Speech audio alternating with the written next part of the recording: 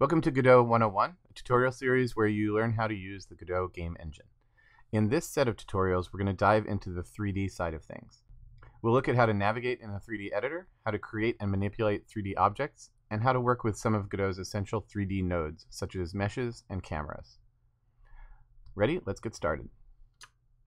When you first open a new project in Godot, you'll see the 3D view.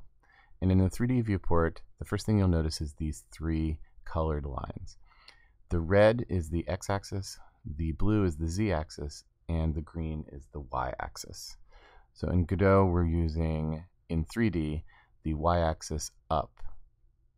Some other 3D programs might use different orientations. Some use z up, but in Godot, the x and z are the plane, and the y is the up and down axis, and positive y is up. And this color scheme is going to continue throughout the interface. The green for the y, the red for the x, and the blue for the z. And you'll see that in the inspector later. Now navigating around in 3D is performed using the mouse and the keyboard together. So here are the main controls. The mouse wheel is going to zoom you in and out.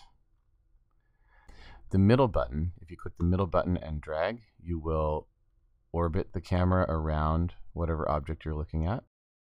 Holding down shift while you drag with the middle button will pan the camera. So we're moving the camera horizontally and vertically, but not changing which way it's pointing.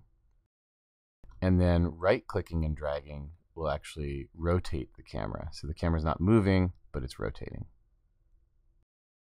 Another navigation method you can use is if you press Shift F, you'll be taken into free look mode, which means now just moving, all I'm doing is moving the mouse. And then by using WASD, you can fly around. This is similar to the UI that's used in a lot, or the control scheme that's used in a lot of 3D games. And you press Shift F again, it'll toggle back out of that mode.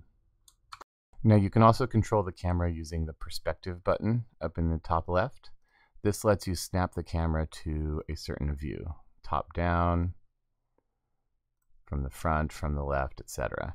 And so depending on where your objects are and how they're arranged, that can let you snap to a particular position and view it from the angle that you want to view it from.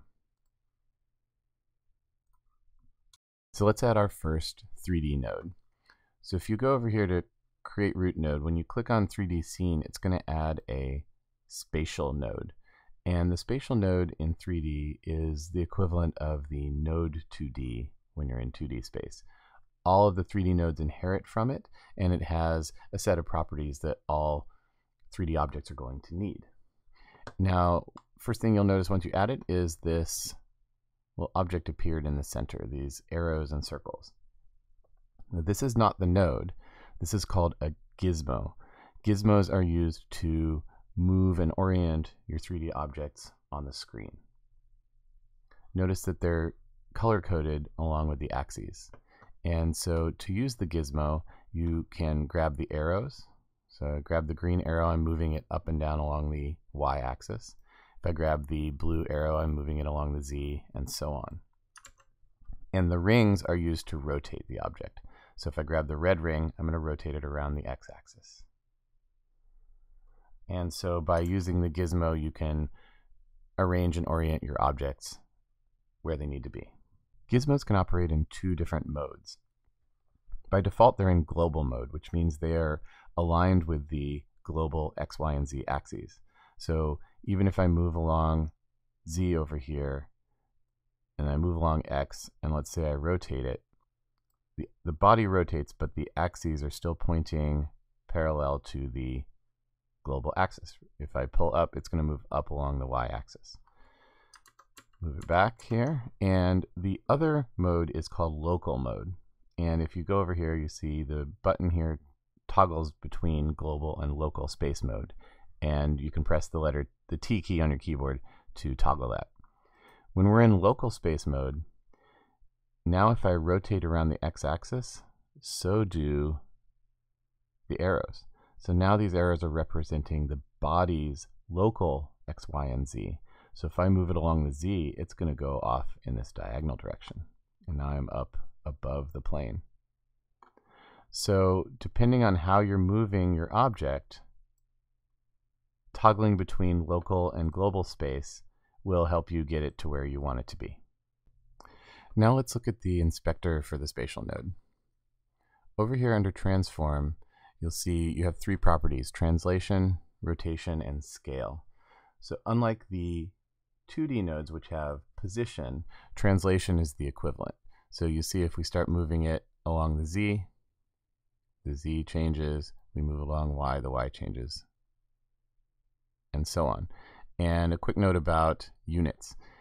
In 3D, one unit is typically considered to be one meter. Um, you can really have it represent whatever you want. If you're making a game where everything's microscopic and you're running around in a microscopic world, each unit might be, you know, one millimeter. But in general, each unit that you move is one meter. And so an object that's one meter cube would be the size of this grid that you see right now. And now if I rotate, you'll see the rotation numbers change and so on. And so you can use those in the same way that you would use the properties in 2D. Now just like a node 2D, a spatial has no size or appearance of its own. In 2D, you'd use a sprite to add a texture to your node so it would be visible. In 3D, you need to add a mesh. A mesh is a mathematical description of a shape. It consists of a collection of points called vertices, and these vertices are connected by lines, which are called edges, and multiple edges together make a face. So for example, here's a picture of a cube, and so the corners are the vertices, and there are eight of those. The edges are the connections between the vertices.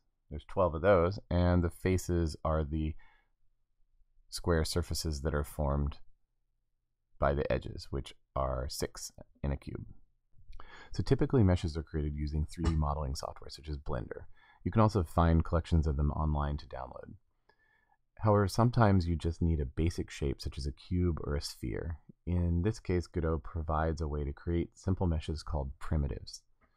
So let's add a mesh instance to our spatial. The mesh instance represents a mesh. And over here you can see in the inspector its mesh property is empty. So if we click the down arrow, you can see you could load a mesh that you have, or you can create one of these primitives. Let's select the cube. Now let's save our scene and run it and see what our cube looks like in game. Well, it looks like nothing. And that's because in 3D, you won't see anything in the game window unless you have a camera to tell Godot what you want rendered in the game viewport. So we need to add a camera to our scene.